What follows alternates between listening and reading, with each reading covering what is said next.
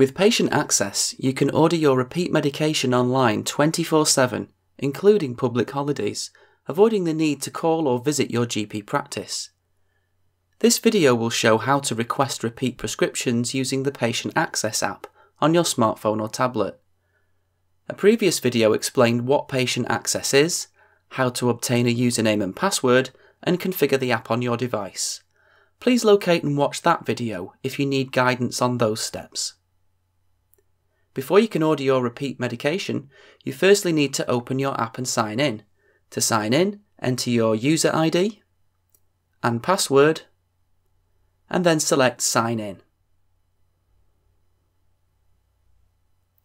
To order your repeat medication, select Request a repeat prescription.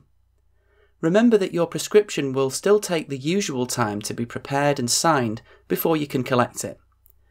You may want to ask your GP practice about collecting your medication directly from a pharmacy of your choice, avoiding an unnecessary visit to your GP practice. In addition, many pharmacies offer a free prescription delivery service, allowing you to have your prescriptions delivered to your home once they're available. A list of all your repeat medication will be shown. To request the medication that you need, select the Select checkbox next to the medication.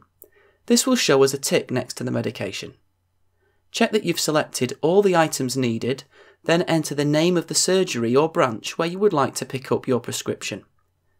You can also add a message relating to your request for staff at the GP practice. Once you've entered all details as required, you can send your request by selecting Submit Request. If you want to cancel the request, click on Cancel. A list of all the items that you requested will be shown. If this is correct, confirm by clicking on Confirm. If this is not correct, select Cancel.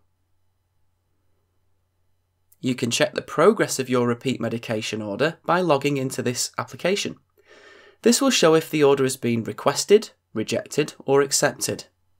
To continue using the app, click on Go to the homepage.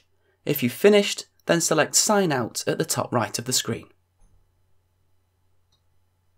For details on how to register for patient access or how to book appointments using patient access, please click on the relevant link.